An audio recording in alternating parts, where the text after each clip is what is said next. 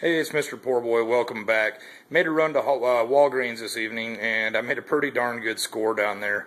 Um, the Airwick uh, room fresheners, I got four of those. I got four of the Schick Hydro 5s, and I've got the, the Walgreens brand of the allergy tablets. There's five in each box. Anyway, those were free. The Blistex, uh, the toothpaste, uh, toothbrushes, I paid a quarter a piece for those just so I could get the registered rewards.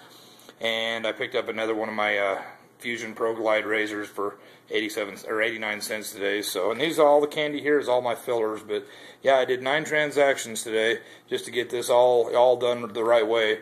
I combined the allergy medication, the Blistex, and the toothbrush. And toothbrush I have the 75 cents off, and I got registered rewards back on all of those. And today I started off with $5 registered rewards, so I started out with that purchase.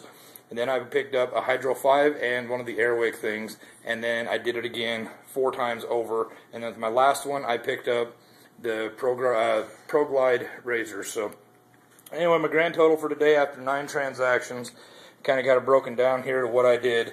Uh, Anyway, today I spent out of pocket $24.67. I saved $154.33 and it would have been a, would have been a total of $179, but I picked it up for $24.67. That's an 87% savings. And also I have $5 register rewards left, so that's just like I started off with. So maybe I'll be able to do this again after I gather up a few more coupons. But anyways, a really good run to Walgreens today. Picked up a lot of good stuff. I love getting the razors and I love rolling in register rewards. It's it's not an easy task and it definitely takes a lot of math and in-store math while you're there. I had a list when I went down, but I had to modify a little bit and change a couple things. And anyway, that's my that's my haul today. So hope you enjoyed it. And if you got any questions, please ask, and I'd love for you to leave a comment. Thanks.